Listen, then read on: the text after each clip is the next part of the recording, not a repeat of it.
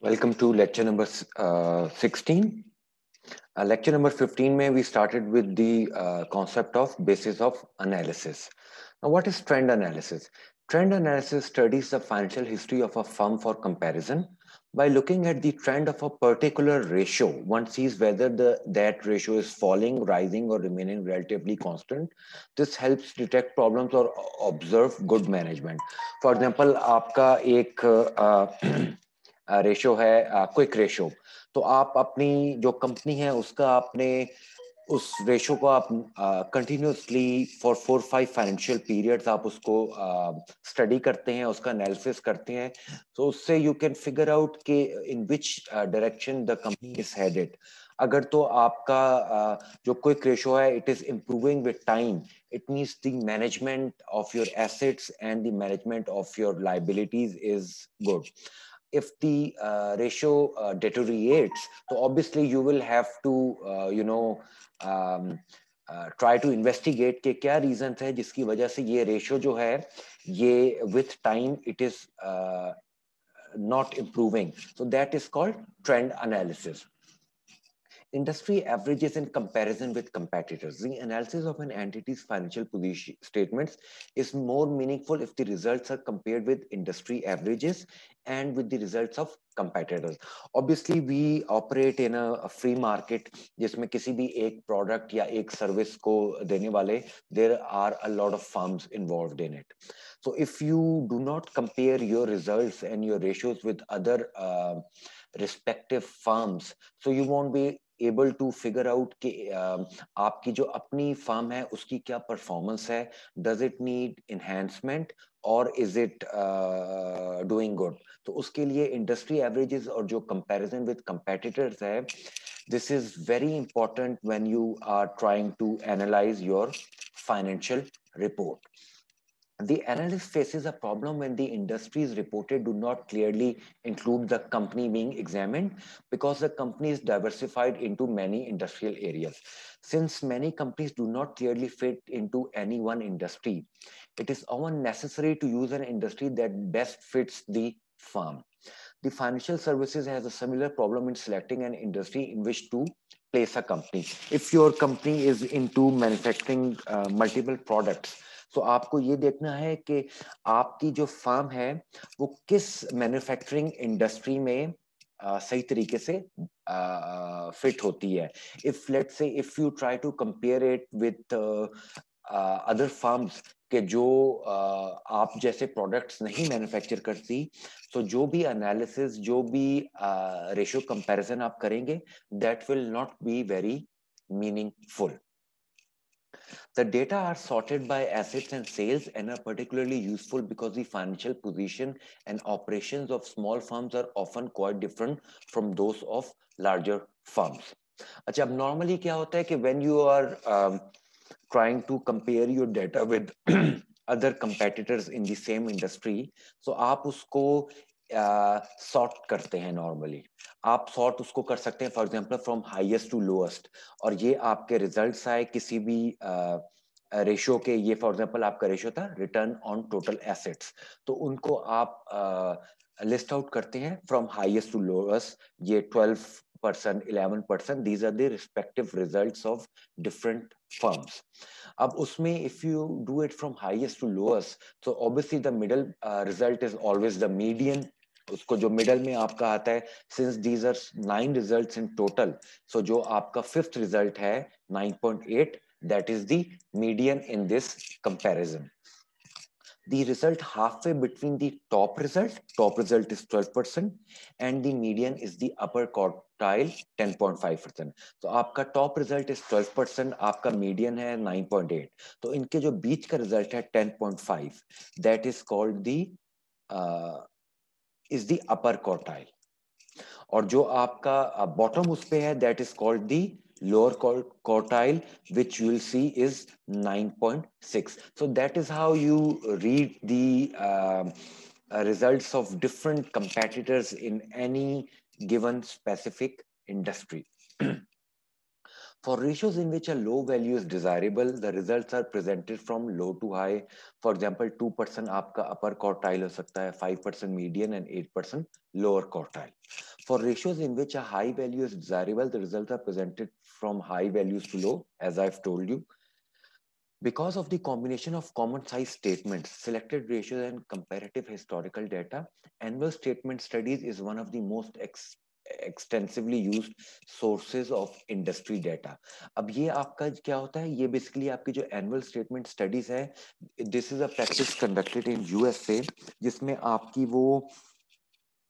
जो भी आपकी फार्म का आ, होता है फाइनेंशियल स्टेटमेंट उनकी they do at an annual statement study and they present it and issue it with your financial statement so that uh, turns out to be a very important document और जो normally आपके commercial loan officers होते हैं banks वगैरह में वो इसी document को पढ़ते हैं to gather the uh, required information about your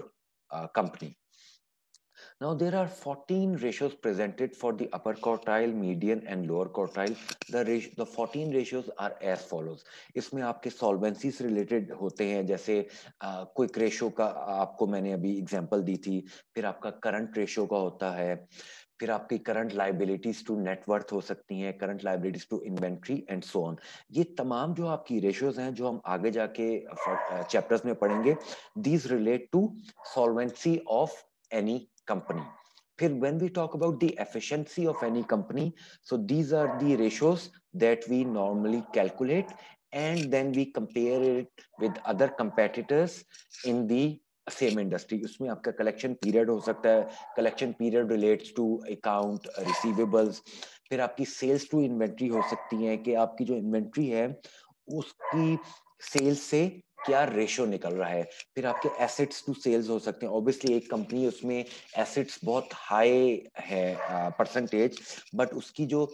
उन एसेट्स जो ऑब्वियसली जो आपकी सेल्स होती हैं, वो you do sales using the assets that you possess तो अगर आपकी सेल्स का रेशो बहुत कम है compare to asset it means के जो कंपनी की कैपेसिटी टू सेल है या परफॉर्मेंस ऑफ़ सेलिंग है दैट इज़ नॉट गुड फिर आपका सेल्स टू नेटवर्किंग कैपिटल हो सकता है। अकाउंट्स पेबल टू सेल्स हो सकता है कि आपकी कितनी सेल्स हैं वो कैश में आ रही हैं और ऑब्वियसली आपकी कितनी सेल्स हैं वो क्रेडिट सेल्स आप कर रहे हैं। जिस कंपनी में कैश सेल्स ज़्यादा होती है उसमें you always have more cash in the company to do other important stuff then we talk about the profitability तो उसमें आपका मेन आता है रिटर्न ऑन सेल्स आपकी रिटर्न ऑन एसेट्स आ सकता है और return on work net working capital होता है। So all these ratios we will be doing in detail as we move on some of the data provided for many companies are as follows आपका revenues पर share हो सकते हैं कि आपके total जो शेयर थे तो उससे आपका you uh, compare it with the revenue figure so you calculate revenues per share. Then cash flow पर शेयर आपका हो सकता है। इसमें व्हाट यू डू आप अपने टोटल नंबर ऑफ़ शेयर्स को उठाते हैं और उनके हिसाब से डिफरेंट फाइनेंशियल फिगर्स को कंपेयर करते हैं। अर्निंग्स पर शेयर डिविडेंड्स डिक्लेयर्ड पर शेयर पर शेयर आपने अपने शेयर होल्डर्स का how much profit are you willing to give how much share of the profit are you willing to obviously, investors उस कंपनी को प्रेफर करते हैं जिसमें उनको ज़्यादा रिटर्न मिलता है on the shares that they hold then you have uh, book value per share common shares outstanding so all these figures ये जो है आपको uh, बताती है कंपनी की प्रॉफिटेबिलिटी और ये कि कंपनी की ओवरऑल क्या स्टैंडिंग है with respect to its shareholders then you have annual um, average annual uh, profit ratio ye bhi we'll do when we uh, go into further details then average annual dividend yield revenues, operating margin. So these are the different जो वो आपका data होता है ये companies provide करती हैं और इन इस डेटे को आप यूज़ करते हैं to analyse where the company stand for example एक कंपनी है उसका what is the net profit margin आपकी जो शेयर होल्डर्स इक्विटी है वो क्या फिगर है? तो ये तमाम फिगर्स आपको दिए हुए होते हैं इन दी फाइनेंशियल रिपोर्ट आपने इनको यूज़ करना होता है for the analysis as indicated previously, comparison has become more difficult in recent years as more firms become conglomerates and diversify into many product lines. A company hai, once it's start uh, once it starts producing uh, you know many products then it becomes very difficult to compare it with other companies so vaise you will have to be very careful when you are uh, calculating the ratios and trying to compare those ratios with uh, other uh. Caution in using industry averages. Financial analysis requires judgment decisions on the part of the analyst. Users of financial statements must be careful not to place undue confidence in ratios or comparison. Remember that ratios are simply fractions with a numerator and a denominator. There are so many ratios of financial analysis as there are pair of figures. There is no set group nor in a particular ratio always computed using the same figures. The use of different accounting methods causes a problem. For example, identical firms may use different valuation or revenue recognition methods, read statements and notes carefully to determine the degree of comparability between the statement. अब इसका gist ये है कि as I told you in the beginning of lecture number 15 तो ये जो तमाम आपके रेशियोज और एनालिसिस होते हैं it is judgement based so once you have calculated the ratios again you have to look at uh, the uh, feasibilities of the uh, look at the feasibility of the ratios that you have calculated okay, how feasible and how logical it is to compare uh, this ratio with other figures आया वो uh, does it belong to the same industry क्या आपने जो ratios calculate की हैं वो ratios uh, using these standard financial practices हैं या नहीं so all these factors you have to keep in mind when you're doing the ratio analysis Com comparisons of firms of different sizes may be more difficult than comparisons of firms of equal sizes. For example, larger firms often have access to wider and more sophisticated capital market. Obviously, जो आपकी uh, बड़ी कंपनियां हैं, they use their leverage to uh, get uh, loans from uh, banks and other financial institutions. ये leverage जो है, it is not, uh, you know, uh, applicable when we talk about small firms. और जो आपकी uh, बड़ी companies हैं they can obviously buy in large quantities जो छोटी फर्म्स हैं they try to buy less because they have less cash to you know buy with so ratio and common size analysis helps to eliminate some of the problems related to the use of absolute numbers. Be aware of the different sizes of firms under comparison. These differences can be seen by looking at relative sales, assets, or profit sizes. Investment services such as value line often make available another meaningful figure percent of market percent of market ये होता है कि जो firm जिस market में operate कर रही है so what percentage of the market does it hold like when we talk about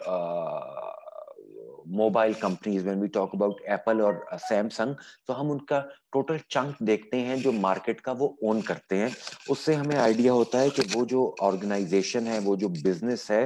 how much weightage and how much value does it hold in the uh, market. For example, if we take the example of Samsung, we know it is um, probably the second largest producer of phones in the world after Huawei. So obviously, just Samsung ko you can compare it with Huawei, but if you try to compare it with a firm which is you know which only has three percent share in the market, so that comparison will not be very meaningful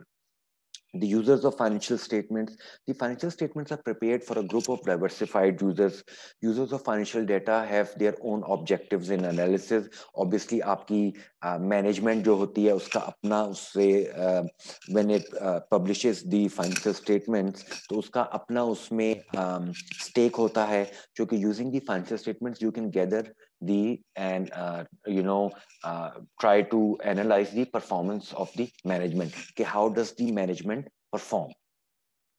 फिर इसी तरह आपकी होती है management must guide the entity towards sound short and long term financial policies and also earn a profit किसी भी organisation की motive to operate is always to maximise its profit and maximise the wealth of the shareholders फिर आपके जो credit uh, grantors होते हैं वो भी ऑब्वियसली जैसे आपके बैंक्स और फाइनेंशियल इंस्टीट्यूशन हो गए they are also very interested in the financial statements pure credit grantors obtain a limited return from extended credit, a rate fix rate of interest जैसे आपके बैंक्स होते हैं, जब आपको बैंक लोन देता है so it expects you to pay markup on it तो वो ये देखता है कि जो आपकी फाइनेंशियल स्टेटमेंट है how much you know leverage you will have to pay back the loan तो वो तमाम चीज़ें जो हैं, वो being user of the financial statement bank मद्देनजर रखता है। So this is the end of lecture number 16. Starting from lecture number 17, we will uh, uh, pick each type of ratio and uh, discuss it in detail with uh, all the relevant examples and questions.